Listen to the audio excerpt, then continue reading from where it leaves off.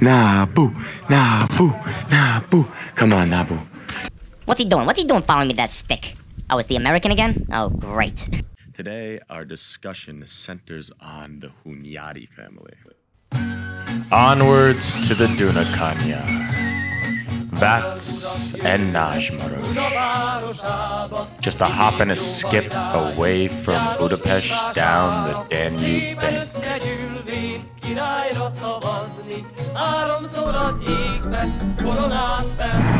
Look at the lovely statues. Wonderful. And here's the Váci panels. Very interesting city, Vác. Never quite properly explored it yet, but I'm excited to say the least. So we've arrived here in Vác. It's down on the banks of the Danube, further outside of Budapest in the Újpest direction. I've driven through here many times on the way to Visegrad, which we will shall explore later, or Nagymaros rather. Look at the Váci panels. Very, very interesting. Huh. It's a mix between the old and the new in Vác. Bike. Bike. Apparently it's bike, not boik. Bike. Bike was the first named leader of the Hunyadi family. And it was him that started the clan in Hunyad in Romania. Wake, wake. Boik, boik, boik, indeed. Oh, wow. There's some like ruins over there in the distance. Yeah, yeah, it is. This is super cool. Wow. We're heading to a vegan restaurant, part of what they're calling the Váci Revolution. You can see the old historic downtown district is beautiful. Nice pastel colors, some ruins in the center, even a tourist train. You never would have known walking in towards the panels that Vác had so much antiquarian beauty in its midst. Saint Mihai Templom. Milyen templom a Saint Mihai templom? Hát nem, ez a templom, Aha, ez fehérek temploma, aha. fehérek, zsidó, izraelita, izraelita. Igen, igen, ott, ott. Városháza, Városháza. városháza. City Hall, City Hall, Városháza. Csinálok uh, videót uh, Váciról, Városról. mert uh, nagyon uh, érdekes történelem. Igen. Fogod látni Szent Háromság tér. Jó, jó, jó. Ilyen Magyarországon csak kettő van. Ah. Vácon, és nem is tudom, hol van még egy Vácon. Persze, persze. Hát, ö, ö, Szép a, visel szép a nadrágot. köszönöm szépen. Nagyon jó. Köszönöm. Köszönöm szépen. Szívesen. Servus. Szép napot, szia! So these are the ruined remains right here of St. Michael's Church, which was built following the ravages of the Tatárjárás in the mid 13th century when German immigrants came to Vác to settle these lands and they built this church here.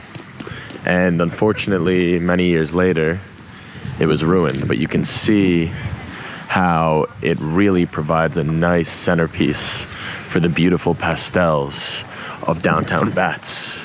But today our story is not about the Tatárjárás or the Germans.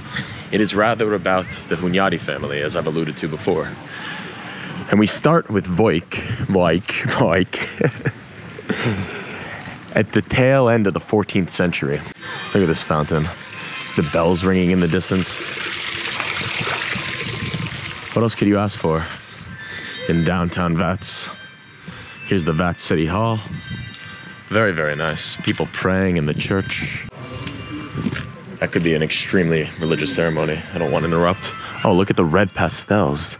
Downtown Vác is surpassing all prior expectations. This is all you need to know about Boik. Boik had three sons. Two of them were named Janos, and the third one was named Boik. And of the three sons, one of them, Janos Hunyadi, Hunyadi Janos, would go on to become perhaps the most famous military commander in Hungarian history. Some of the uh, sports cars that are seen here in Vác, very, very rapid. Janos Hunyadi begins to distinguish himself during the reign of Király Zsigmond, who dies in 1437. And subsequently, his son-in-law, Albert, the first ever Habsburg Hungarian king, comes to the throne, alongside his daughter Erzsébet. I like the lime green on the facade here. Crumbling, decrepit. Had all the same, a certain sensual energy. And the Danube comes into sight.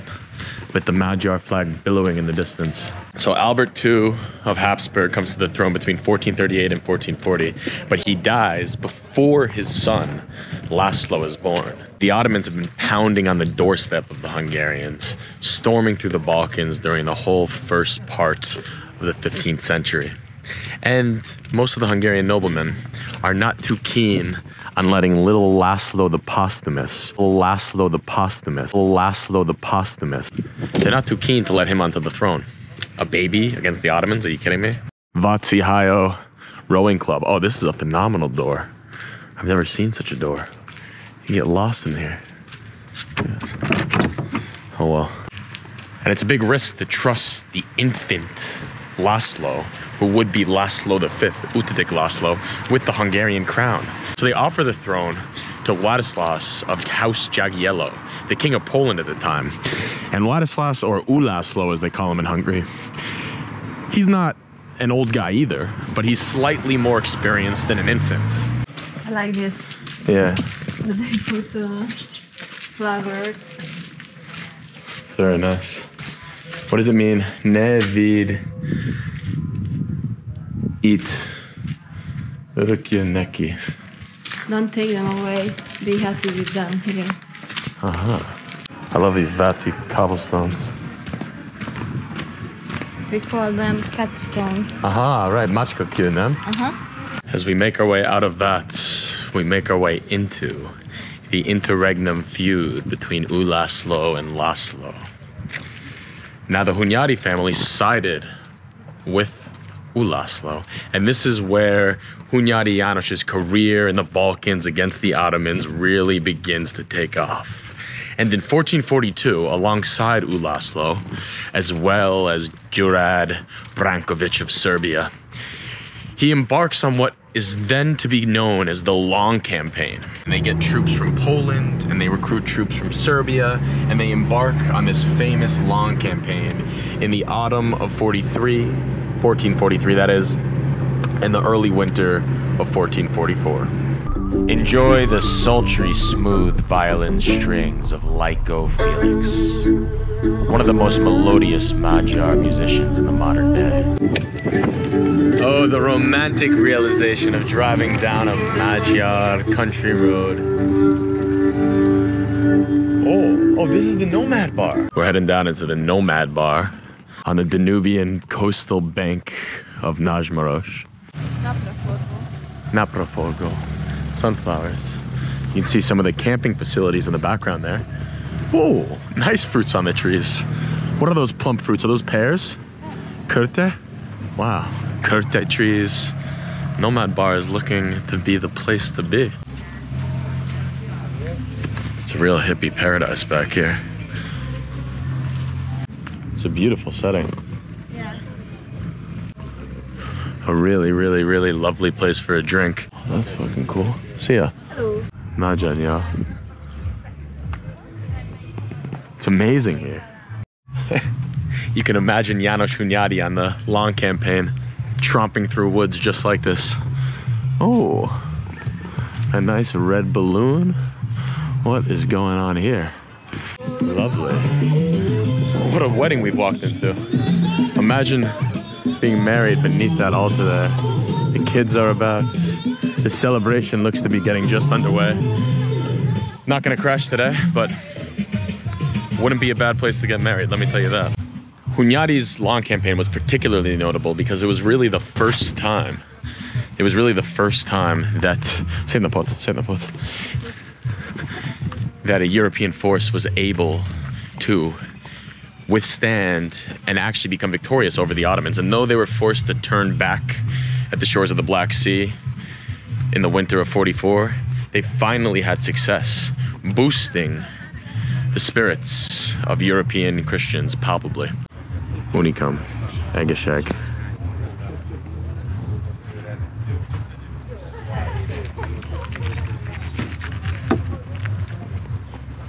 Mouthwash.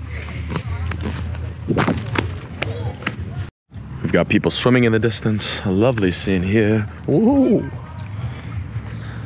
At the Nomad Bar. Visegrad poking its head through the clouds. Really tremendous. Oh, see ya. Hodge Vudge. That is so cool. Mm. What a place to first touch upon the Treaty of Szeged, which after the long campaign, Sultan Murad, he was a little bit, you know, caught off guard. Wow, finally, the Christians, the Westerners, they stopped me. And he was willing to make a peace treaty. So he negotiated with Hunyadi Janos and Ulaslo and Brankovic, and they said, okay, we're gonna have a 10 year peace and we're gonna give the Hungarians and the Serbians lands and the Ottomans are gonna go away for a while. Everything's, you know, as they say, copacetic. But what happens is that this guy, Cardinal Cesarini, he convinces Ulaslo that the peace treaty did not have firm standing because Sultan Murad was inherently untrustable, being a heretic Muslim. Ulaslo, Hunyadi Janos, and Cardinal Cesarini plot to go on another campaign against the Ottomans, seeing how successful their first go at it was. And they decide to head out from Szeged, from Buda, from Hungary, back into the Balkans to retake lands that the Ottomans had possessed now for at least half a century. And they're counting on a couple of factors to help them out. One of them is the return of the Serbian despot, Juraj, Durad Brankovic. But Durad Brankovic decides not to help them out on the second go because he's made his peace with the Ottomans. His lands have been ravished over the past 30, 40 years, and he says, nah, not for me. Plus, his daughter is married to the Sultan. So, you know, he's like, sorry, Hunyadi I'm gonna chill. You can't really blame him. And another thing that Hunyadi Janos and Ulaslo I were counting on was support from the Venetian fleet. But the Venetians never come. They never block the Dardanelles as was planned to cut off Murad from the Balkans. And instead, Murad's able to cross into Varna, into Bulgaria on the Black Sea because of the brilliant military mastery of Hunyadi Janos. The combined Hungarian Polish force actually has a chance to win.